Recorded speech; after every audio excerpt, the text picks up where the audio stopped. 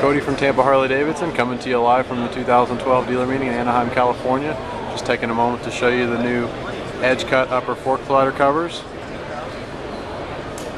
These fit uh, 1980 and newer touring and trike models. As you'll notice, it does match the edge cut collection that's already uh, in the P&A catalog. Stay tuned for more exciting products from Harley Davidson in Tampa.